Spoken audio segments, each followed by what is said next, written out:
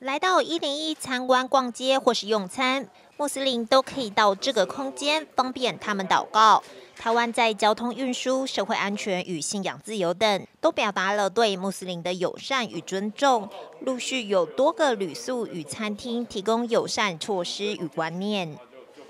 台北市观察局在呃一零八年开始启动这样子的一个穆斯林的景点跟。呃，旅宿业的这个辅导计划，那当然，我想，呃，如同我们在这几年下来最重要的一个指标，就是让牧师的朋友来到台北市的时候，他们的一些服务，像是祈祷室、地下设施，还有比如说祈祷的时候需要用到的毯子等等，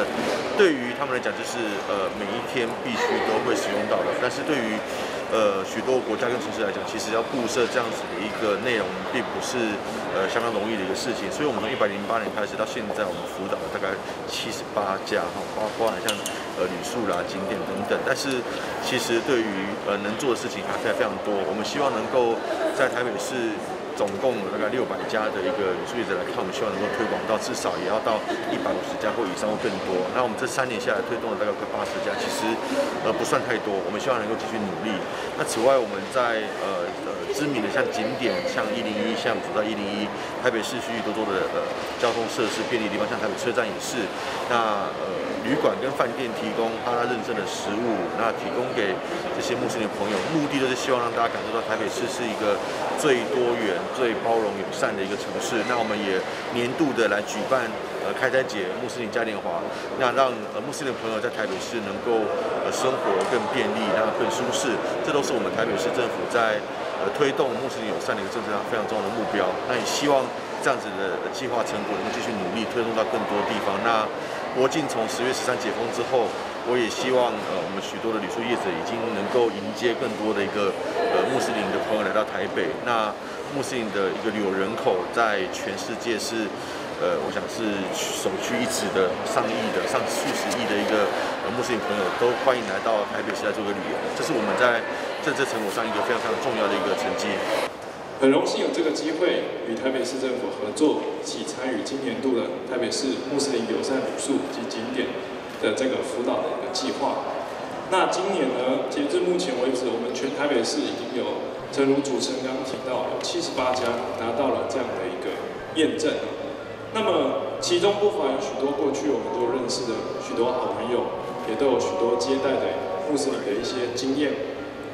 当然。在过去疫情的这三年期间，大家也都非常的辛苦，有许多的旅馆，正如局长所言，它调整为防疫的旅馆。但是我们也发现，在这过程中，有许多来台湾念书、工作，甚至经商的入境防疫旅客，他们其实是穆斯林。那么在这段期间内呢，因为 隔离非常的长，祷告。跟饮食对他们来讲是一个很大的问题。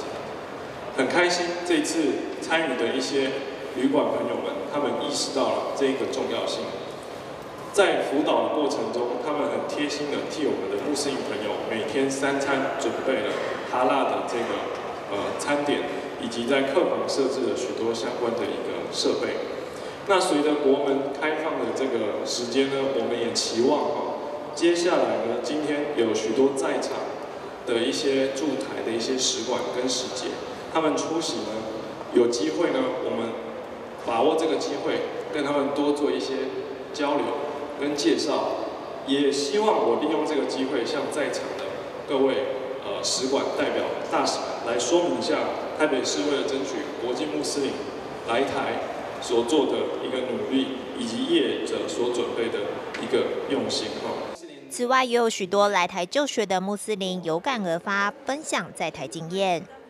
感谢就台北市政府，还有我们所有的这个景点啊，还有我们的旅宿业者的努力。比如说呢，他在他也提供了很多，呃，就我们提供了很多穆斯林朋友在饮食跟生活上面的一些便利跟友善的设施。比如说像今天台北一零一台北车站，还有像是国际会议中心等等的，都有穆斯林专用的一些祈祷室，还有镜下的设施。然后，所以他让这些穆斯林朋友其实感觉非常的安心。那呃，所以他觉得他真的是做了一个很正确的选择，来到。台北工作或学习，因为他觉得他其实是受到了很好的对待跟尊重。那所以他也是再次一直感谢我们台北市政府的努力。那也希望其他城市也可以跟台北市一样，就是提供穆斯林友好的环境。呃，就算他戴着头巾。呃，走在台北的街头，发现在这些公共场合呢，也都是觉得很舒服自在的，不会受到任何的这种歧视。那他觉得台北的教育跟日常就是教育的环境，包含各个大学，然后跟这个呃日常生生活当中呢，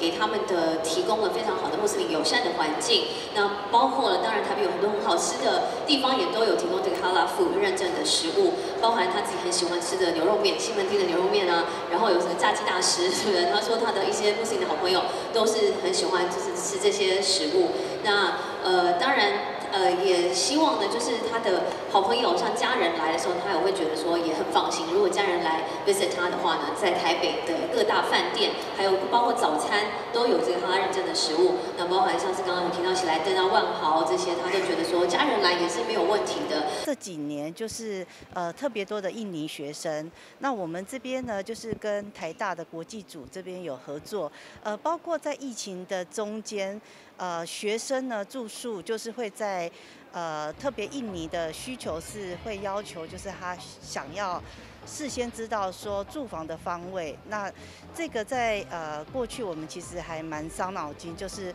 呃不知道这些呃要求。那他们特别也会在就是来台湾之前搜索，就是有没有素食餐厅。那因为呃，在公馆这边，其实它其实算是还蛮多元，就是还蛮呃算蛮国际化的。在呃譬如说水源市场，它就会有呃双双语的 menu，然后呃在路上其实还蛮容易看到，就是有穆斯林穿着的呃学生，然后呃特别呃今年我收到的资讯就是台科大，它光呃印尼籍的学生就有一千位。然后，所以这个市场是非常大。不过，就是说在建制上面，呃，其实我们一开始会觉得说会花非常多的钱。然后刚好那个观船局这边就是有这样的机会。其实我们在呃过去已经已经大概知道，就是说穆斯林他的这个人口会非常多。那只是呃穆斯林来台湾最担心的就是说每一种食物可能都含有猪肉。所以，呃，在在解决这个问题之前，我们是先介绍了素食餐厅，然后，呃，我在想，就是除了我们旅宿这次拿到认证之后，我们可能还要再更深入的了解，就是说在呃穆斯林在饮食上面要注意的事情，然后介绍介绍呃这周边的环境给这些穆斯林的学生。看好穆斯林潜在十九亿人口的商机，观船局二零一九年起积极推动穆斯林友善环境计划，协助台北市景点及旅宿业者做好宗教生活必须的饮食及祈祷需求的相关设备。今年辅导两处景点及十三家旅馆，四年来也已辅导七十八家，期盼穆斯林朋友可以感受台湾的多元友善包容性，感受便利的观光生活体验。